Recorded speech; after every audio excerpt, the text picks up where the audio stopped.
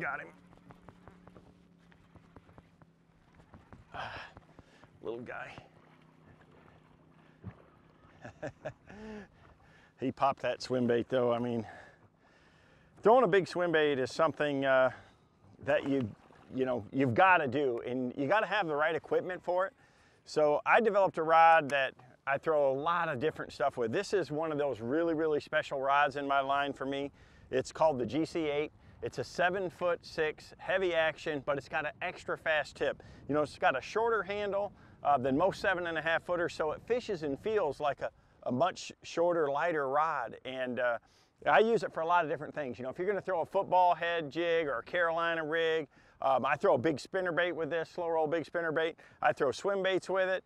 I like to throw uh, even swim jigs in the grass and things like that. I can put it rig one with braid. This is a really, really versatile rod.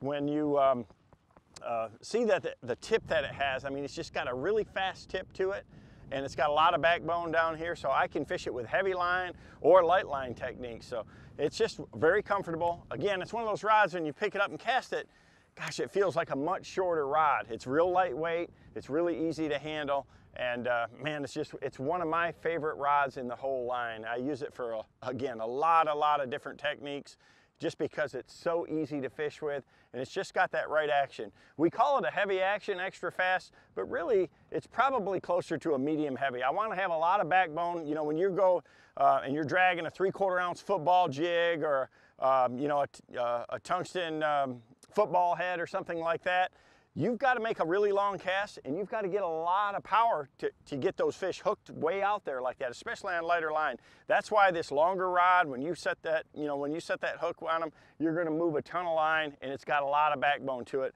but it's still got that nice soft tip for that feel. You know, a lot of people might even like it for a, a close-in pitching rod, but it's just one of my favorites in the line, and uh, it's one that I use for a lot of different techniques.